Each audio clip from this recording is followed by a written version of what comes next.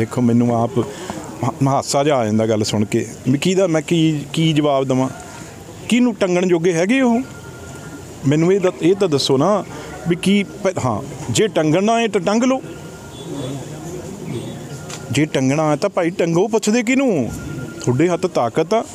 ਤੁਸੀਂ ਟੰਗ ਦਿਓ ਜਿਹਨੂੰ ਟੰਗਣਾ ਹੈ ਉੱਥੇ ਕੇਸ, ਉੱਥੇ ਤਾਂ ਸਾਡਾ ਜਿਹਨੂੰ ਟੰਗਣ ਨੂੰ ਮੋਦੀ ਜੀ ਫਿਰਦੇ ਆ, ਉਹ ਆ ਕੇ ਪੰਜਾਬ 'ਚ ਲੁਕੇ ਹੋਏ ਸੀਗੇ। ਐਂ ਹੀ ਹੁੰਦਾ ਨਾ ਵੀ ਟੰਗਣ ਟੰਗਾਉਣ ਕਰੋਗੇ ਤਾਂ ਤੁਹਾਡਾ ਤੁਹਾਨੂੰ ਵੀ ਕੋਈ ਟੰਗੂਗਾ। ਇਸ ਕਰਕੇ ਇਹ ਗੱਲਾਂ ਛੱਡੋ। ਟੰਗਣਾ ਹੈ ਜਾਂ ਟੰਗਾਉਣਾ ਹੈ ਇਹ ਨਹੀਂ ਪਤਾ ਲੱਗਦਾ ਹੁੰਦਾ ਕੌਣ ਕਿਹਨੂੰ ਟੰਗਦਾ ਏ। ਪਰ ਤੁਸੀਂ ਹਾਂ ਜੇ ਕੋਈ ਕਰ ਉਹ ਮੂਹਰੇ ਲਿਆਓ। ਆ ਤਾਂ ਹੁਣ ਤੁਹਾਡੀਆਂ ਗੱਲਾਂ ਨਿਕਲ ਰਹੀਆਂ ਰੋਜ਼। ਆ ਹੁਣ ਤੁਸੀਂ ਮੈਨੂੰ ਪਹਿਲਾਂ ਸਵਾਲ ਇਹਨਾਂ ਦੇ ਮੰਤਰੀ ਬਾਰੇ ਪੁੱਛਿਆ। ਵੀ ਕੱਢੋ ਜੀ ਉਹਨੂੰ। ਮੈਂ ਤਾਂ ਫੇਰ ਨਹੀਂ ਕਿਹਾ ਵੀ ਚਲੋ ਕੋਈ ਨਹੀਂ। ਇੱਕ ਸੁਖਪਾਲ ਖਹਿਰੇ ਨੇ ਤੁਹਾਡਾ ਵੀ ਕਹਿਣਾ ਹੈ ਕਿ ਜ਼ਮਾਨਤ ਮਿਲਦੀ ਹੈ ਫਿਰ ਨਵਾਂ ਕੇਸ ਦੇ ਅੰਦਰ ਕਰ ਦਿੰਦੇ ਆ। ਦੇਖੋ ਖਹਿਰਾ ਸਾਹਿਬ ਇੱਕ ਸ਼ੇਰ ਆ। ਸ਼ੇਰ ਨਹੀਂ, ਬੱਬਰ ਸ਼ੇਰ ਆ। ਤੇ ਫਿਰ ਕੀ ਫ਼ਰਕ ਪੈ ਜਾਊਗਾ? ਹੋਰ ਮਹੀਨਾ ਰੱਖ ਲੈਣਗੇ ਅੰਦਰ, ਫਿਰ ਕੀ ਹੋ ਜੂ ਇਸ ਕਰਕੇ ਇਹ ਇਹ ਇਹ ਇਹ ਜਿੰਨਾ ਵੀ ਉਹਨਾਂ ਨੂੰ ਰੱਖਣਗੇ ਲੋਕਾਂ 'ਚ ਉਨਾ ਹੀ ਉਹ ਤਕੜੇ ਹੋਣਗੇ। ਪੋਲੀਟੀਕਲ ਬੰਦੇ ਨੂੰ ਤਾਂ ਜੇਲ੍ਹ, ਮਤਲਬ ਪੋਲੀਟੀਕਲ ਬੰਦਾ ਤਾਂ ਜੇਲ੍ਹ ਭਾਲਦਾ ਏ। ਲੋਕ ਉਹਨੂੰ ਸਮਝਦੇ ਆ ਵੀ ਇਹ ਇਮਾਨਦਾਰ ਬੰਦਾ ਏ, ਸੱਚ, ਸੱਚ- ਸੱਚ ਸੱਚ ਤੇ ਖੜਾ ਏ। ਤੇ ਇਸ ਕਰਕੇ ਉਹ ਅੰਦਰ ਰੱਖਦੇ ਆ, ਅੰਦਰ ਰੱਖੇ ਤੇ ਕੀ ਹੋ ਜਾਊਗਾ? ਲੋਕ ਤਾਂ ਸਮਝਦੇ ਆ ਨਾ, ਲੋਕ ਤਾਂ ਦੇਖਦੇ ਆ ਨਾ। ਲੱਗਦਾ ਤੁਹਾਨੂੰ ਇਸ ਇਹਨਾਂ ਕਾਰਨ ਕਿ ਜਿਹੜੇ ਆਮ ਆਦਮੀ ਪਾਰਟੀ ਜਾਂ ਕਾਂਗਰਸ ਵਾਲੇ ਗੱਠਜੋੜ ਜਿਵੇਂ ਦਿੱਲੀ ਦੀ ਗੱਲ ਚੱਲਦੀ ਪੰਜਾਬ ਦੀ ਇਹ 'ਚ ਕੁੜਿੱਤਨ ਹੋਰ ਵਧੇਗੀ ਜਿਵੇਂ ਆਪਸੀ ਗੱਠਜੋੜ ਨੂੰ ਲੱਗਦਾ ਚਲੋ ਜੀ ਉਹ ਤਾਂ ਹੁਣ ਤੁਹਾਨੂੰ ਬਾਰ-ਬਾਰ ਆਪਾਂ ਕੀ ਗੱਲ ਕਰੀਏ ਹਾਈ ਕਮਾਂਡ ਦੇ ਹੱਥ ਆ। ਜਿੱਦਣ ਉਹਨਾਂ ਨੇ ਕੜਤਨ ਕੱਢਣੀ ਉਹ ਕੱਢ ਦੇਣਗੇ। ਜਿੱਦਣ ਉਹਨਾਂ ਨੇ ਕੜਤਨ ਨਹੀਂ ਕੱਢਣੀ ਉਹ ਨਹੀਂ ਕੱਢਣਗੇ। ਇਹ ਤਾਂ ਉਹਨਾਂ ਦੇ ਹੱਥ ਹੈ ਤੁਸੀਂ ਸਵਾਲ ਜਿਹੜਾ ਹੈ ਕੱਲ ਦੇ ਬਾਰੇ ਪੁੱਛੋ ਜਿਹੜਾ ਐਸਜੀਪੀਸੀ ਦੇ ਉਹਦੇ ਰਾਜਵਾਨਾ ਸਾਹਿਬ ਨੇ ਕਹਿੰਦੇ ਮਿਲਾਂਗੇ। ਕੌਣ? ਅੱਜ ਕਹਿੰਦੇ ਮੀਟਿੰਗ ਕਰਾਂਗੇ ਸੈਂਟਰ ਕੋਲ ਮਿਲਾਂਗੇ ਐਜੀਪੀਸੀ ਦੇ। ਮੈਂ ਤਾਂ ਸਿਰਫ ਇੰਨਾ ਕਹਿਣਾ ਚਾਹੁੰਦਾ ਹੁਣ ਉਹਨਾਂ ਨੇ 27 ਜੀ। ਦੀ ਤਰੀਕ ਦੇਤੀ। ਹੁਣ ਮੈਂ ਤੁਹਾਡੇ ਥਰੂ ਉਹ ਚਿੱਠੀਆਂ ਜੀਆਂ ਲਿਖਦਾ ਰਹਿੰਦੇ ਅੰਦਰੋਂ ਮੈਨੂੰ ਨਹੀਂ ਲੱਗਦਾ ਵੀ ਉਹ ਰਾਜਵਾਨਾ ਚਿੱਠੀਆਂ ਲਿਖਦਾ। ਉਹਨਾਂ ਦੀ ਜਿਹੜੀ ਭੈਣ ਉਹ ਆਪ ਹੀ ਚਿੱਠੀਆਂ ਲਿਖ ਕੇ ਜਿਹੜੀਆਂ ਉਹ ਬਾਹਰ ਜਿਵੇਂ ਵੀ ਉਹਨਾਂ ਨੂੰ ਠੀਕ ਲੱਗਦਾ ਜਿਵੇਂ ਵੀ ਬਾਦਲਾਂ ਨੇ ਕਿਹਾ ਹੁੰਦਾ ਦੇ ਦਿੰਦੇ ਆ ਲਿਖ ਕੇ। ਰਾਜਵਾਨਾ ਸਾਹਿਬ ਦੀ ਜਿਹੜੀ ਆ ਉਹ ਚਿੱਠੀ ਕੋਈ ਲਿਖੀ ਨਹੀਂ ਲੱਗਦੀ। ਤੇ ਉਦੋਂ ਬਾਅਦ ਜੇ ਰਾਜਵਾਨਾ ਬਹੁਤ ਆਪਣੇ ਆਪ ਨੂੰ ਕਹਿੰਦੇ ਸੀ ਤੇ ਹੁਣ ਕੱਤੀ ਤਾਂ ਕੱਦੀ ਨਹੀਂਗੀ ਹੁਣ ਬਹਿਣ ਭੁੱਖ ਹੜਤਾਲ ਤੇ। ਜੇ ਵਾਕਈ ਜੇ ਉਹਨੂੰ ਵਾਕਈ ਇਹ ਲੱਗਦਾ ਵੀ ਉਹ ਬਹੁਤ ਵੱਡਾ ਸੱਚਾ ਸੁੱਚਾ ਏ ਤੇ ਹੁਣ ਭੁੱਖ ਹੜਤਾਲ ਤੇ ਕਿਉਂ ਨਹੀਂ ਬੈਠਾ ਕੱਤੀ ਤੋਂ ਬਾਅਦ? ਉਹਨਾਂ ਨੇ ਤਾਂ ਕੁਝ ਸਾਹਿਬ ਦੇ ਜਥੇਦਾਰ ਕੁਝ ਨਹੀਂ ਕਰਨਗੇ। ਉਹਨਾਂ ਨੇ ਤਾਂ ਕੀਤਾ ਕੁਝ ਨਹੀਂ। ਉਲਟਾ ਤੁਸੀਂ ਬਿਆਨ ਸੁਣਿਆ ਹੀ ਆ ਜੋ ਆਇਆ ਏ।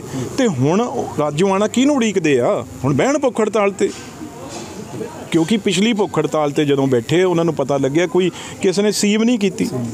ਤੇ ਇਸ ਕਰਕੇ ਉਹ ਉਸੇ ਤੇ ਹੁਣ ਚਿੱਠੀਆਂ ਲਿਖ ਕੇ ਵੀ ਮੈਂ ਤਾਂ ਜੀ ਕੋਰਟ 'ਚ ਜੋ ਕਹਿਣਾ ਸੀ, ਮੈਂ ਕਹਿ ਲਿਆ, ਹੁਣ ਅਮਿਤ ਸ਼ਾਹ ਜੀ ਨੂੰ ਹੋਮ ਮਿਨਿਸਟਰ ਨੂੰ ਮਿੰਤਾਂ ਹੀ ਕਰ ਰਿਹਾ ਨਾ ਚਿੱਠੀਆਂ ਲਿਖ ਕੇ। ਜੇ ਉਹ ਵੱਡਾ, ਬਹੁਤ ਵੱਡਾ ਦਲੇਰ ਸੀ, ਇਹ ਤਾਂ ਇਹ ਤਾਂ ਗਦਾਰ, ਕਾਇਰ ਬੰਦੇ ਆ। ਪੁਲਿਸ ਦੀ ਵਰਦੀ 'ਚ ਸੀ ਇਹ। ਪੁਲਿਸ ਵਾਲਿਆਂ ਨਾਲ ਰਲ ਕੇ ਜਿਹੜਾ ਸ਼ਹੀਦ ਆਜ਼ਮ ਸਰਦਾਰ ਬੇਅੰਤ ਸਿੰਘ ਦਾ ਜਿਹੜਾ ਹੋਇਆ ਸੀ, ਉਹ 'ਚ ਪੁਲਿਸ ਵਾਲੇ ਰਲਾਏ ਸੀ। ਜਿਹੜੇ ਗੱਡੀ ਅੰਦਰ ਜਾਣੀ ਆ, ਉਹ ਗੇਟ ਵਾਲੇ ਨੂੰ ਰਲਾਇਆ ਹੋਇਆ ਸੀ, ਹੋਰ ਰਲਾਇਆ ਸੀ ਤਾਂ ਕਾਇਰ ਬੰਦੇ ਨੇ। ਇਸ ਕਰਕੇ ਤੁਸੀਂ ਵੀ, ਮੈਂ ਇੱਕ ਗੱਲ ਜ਼ਰੂਰ ਕਹੂੰਗਾ, ਅੱਜ ਬੜੇ ਬੜੇ ਟੈਰਰਿਸਟਾਂ ਦੇ ਮੈਂ ਮੰਨਦਾ ਕੌਕੇ ਸਾਹਿਬ ਦੀ ਸਾਡੀ ਉਹਨਾਂ ਨਾਲ 100% ਸਿੰਪਥੀ ਆ, ਵੀ ਉਹਨਾਂ ਨਾਲ ਜਿਹੜਾ ਧੱਕਾ ਕੀਤਾ, ਉਸ ਵੇਲੇ ਇਹ ਉਹਨਾਂ ਦੇ ਰਾਗੀ ਪਾਠੀ ਭੇਜਦੇ ਰਹੇ ਨੇ ਉਹਨਾਂ ਦੇ, ਤੇ ਅੱਜ ਤੱਕ ਗੱਲ ਨਹੀਂ ਕੀਤੀ। ਪਰ ਤੁਸੀਂ ਵੀ ਮੀਡੀਆ ਵਾਲਿਆਂ ਨੂੰ ਵੀ ਮੈਂ ਕਹਿਣਾ, ਉਹ ਪਰਿਵਾਰਾਂ ਦੇ ਵੀ ਤਾਂ ਜਾਓ ਜਿਨ੍ਹਾਂ ਨੇ ਅੱਤਵਾਦੀਆਂ ਨੂੰ ਮਾਰਿਆ ਸੀ। ਤੁਸੀਂ ਵੀ ਤੁਸੀਂ ਵੀ ਕੋਈ ਡਰਦੇ ਬੋਲਦੇ ਨਹੀਂਗੇ AK47 ਤੋਂ, ਜਿਨ੍ਹਾਂ ਨੂੰ ਲਾਈਨਾਂ 'ਚ ਲਾ ਕੇ ਜਿਹੜੇ ਪਰਿਵਾਰ ਮਾਰੇ ਸੀ। ਤੁਸੀਂ ਕੋਈ ਚੈਨਲ ਵਾਲਾ ਗਿਆ ਉਹਨਾਂ ਦੇ ਘਰੇ? ਤੁਹਾਨੂੰ ਅੱਤਵਾਦੀਆਂ ਦੇ ਘਰ ਤਾਂ ਦਿਖਦੇ ਆ। ਤੇ ਜਿਹੜੇ ਅੱਤਵਾਦੀਆਂ ਨੇ ਮਾਰੇ ਸੀ, ਮੀਡੀਆ ਵਾਲਿਆਂ ਨੂੰ ਮੈਂ ਖਾਸ ਤੌਰ ਤੇ ਕਹਿਣਾ। ਤੁਸੀਂ ਕਿਸੇ ਦੇ ਘਰੇ ਗਏ, ਜਿਹੜੇ ਲਾਈਨਾਂ 'ਚ ਲਾ ਕੇ, ਬੱਸਾਂ 'ਚੋਂ ਲਾ ਕੇ ਜਿਹੜੇ ਹਿੰਦੂ ਸਿੱਖ ਮਾਰੇ ਜਾਂਦੇ ਸੀ, ਕੋਈ ਤੁਹਾਡੇ 'ਚ ਤੁਹਾਡੇ 'ਚ ਹਿੰਮਤ ਨਹੀਂ? ਤੁਸੀਂ ਵੀ AK47 ਤੋਂ ਡਰਦੇ ਹੋ? ਉਹ ਦੋ ਬਜ਼ੁਰਗ, ਇੱਕ ਉਹਨਾਂ ਨੇ ਤਾਂ ਤਹੀਆ ਹੀ ਕੀਤਾ ਹੋਇਆ। ਉਹ ਦੋ ਬਜ਼ੁਰਗ ਬਹਿ ਜਾਂਦੇ ਆ ਰੋਜ਼ ਡਿਬੇਟ ਕਰਨ। ਸੀਨੀਅਰ ਪੱਤਰਕਾਰ ਨੇ, ਮੈਂ ਨਾਂ ਨਹੀਂ ਲੈਣਾ ਚਾਹੁੰਦਾ, ਉਹ ਸਮਝ ਜਾਣਗੇ। ਉਹਨਾਂ ਨੇ ਕੰਮ ਹੀ ਇਹ ਫੜਿਆ ਹੋਇਆ ਵੀ ਖਾਲਿਸਤਾਨ ਬਣਾ ਕੇ ਹੀ ਰਹਿਣਾ ਹੈ। ਤੁਸੀਂ ਯਾਰ ਦੇਖੋ ਤਾਂ ਸਹੀ, ਉਦੋਂ ਜਿਹੜੇ 30000 ਜਿਹੜੇ ਤਾਂ ਤੁਸੀਂ ਕਹਿੰਦੇ ਹੋ ਜੀ ਨਜਾਇਜ਼ ਜਿਨ੍ਹਾਂ ਦਾ ਪਤਾ ਨਹੀਂਗਾ, ਜਿਨ੍ਹਾਂ ਦਾ ਪਤਾ ਨਹੀਂਗਾ, ਲਿਸਟਾਂ ਨਹੀਂ ਗੀਆਂ ਉਹ ਪ- ਜਿਨ੍ਹਾਂ ਦਾ ਬਾਡੀਜ਼ ਨਹੀਂ ਮਿਲੀਆਂ ਜਾਂ ਪਤਾ ਨਹੀਂ ਲੱਗਿਆ, ਉਹ ਜਿਨ੍ਹਾਂ ਦਾ ਪਤਾ ਉਹਨਾਂ ਦੇ ਬਾਰੇ ਤਾਂ ਗੱਲ ਕਰੋ। ਜਿਹੜੇ 30000 ਹਿੰਦੂ ਸਿੱਖ ਮਾਰੇ ਆ ਉਦੋਂ, ਉਹਨਾਂ ਦੀ ਕੌਣ ਗੱਲ ਕਰੂਗਾ? ਮਾਰਨ ਵਾਲਿਆਂ ਦੀ ਅੱਜ ਗੱਲ ਕਰੀ ਜਾਂਦੇ ਆ, ਮੈਨੂੰ ਇਸ ਗੱਲ ਨਾਲ ਬੜਾ ਦੁੱਖ ਆਉਂਦੀ ਹੈ, ਕੋਈ ਬੋਲਦਾ ਵੀ ਨਹੀਂਗਾ।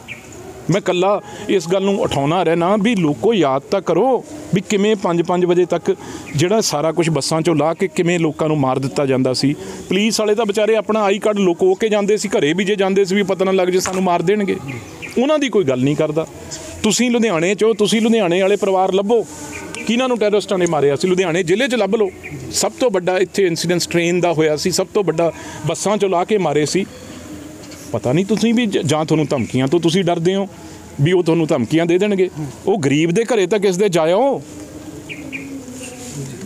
ਬਹੁਤ ਅਫਸੋਸ ਆ ਮੈਨੂੰ ਇਸ ਗੱਲ ਦਾ ਤੁਹਾਡੇ ਤੇ।